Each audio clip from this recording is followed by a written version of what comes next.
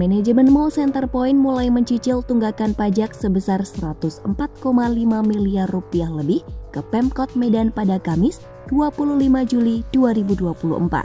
Semula, Mall Center Point ditutup Pemkot Medan karena memiliki tunggakan pajak 143 miliar rupiah. Menurut pelaksana tugas Kepala Badan Pendapatan Daerah atau Bapenda Kota Medan Muhammad Sofyan, uang yang dibayarkan adalah tunggakan pajak dari bea perolehan hak atas tanah dan bangunan. Kini, total tunggakan dari manajemen Mall Center Point tersisa 39 miliar rupiah.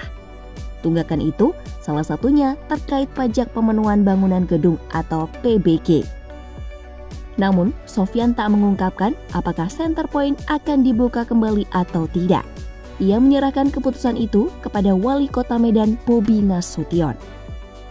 Meskipun begitu, Sofian akan merekomendasikan ke atasannya tersebut agar center point dibuka kembali.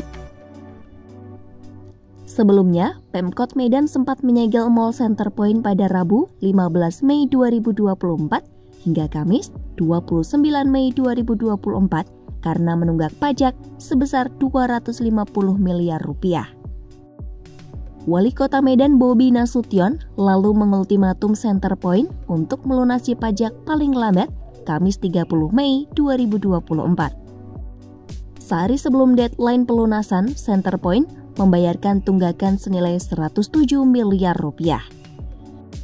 Lantas, Center Point dibuka pada 30 Mei 2024 karena telah mencicil utangnya. Pemkot Medan lalu memperpanjang waktu pembayaran tunggakan pajak menjadi 19 Juni 2024. Namun setelah itu, Center Point belum kembali melunasi pajaknya. Bobby pun memperpanjang waktu pembayaran tunggakan hingga 30 Juni 2024.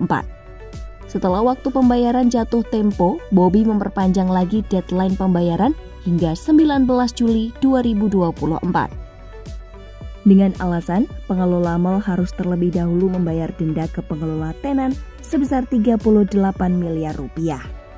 Setelah tanggal 19 Juli, Bobby kembali memperpanjang deadline pembayaran utang Center Point hingga Jumat 26 Juli 2024. Selain itu, Bobby juga menutup mal tersebut.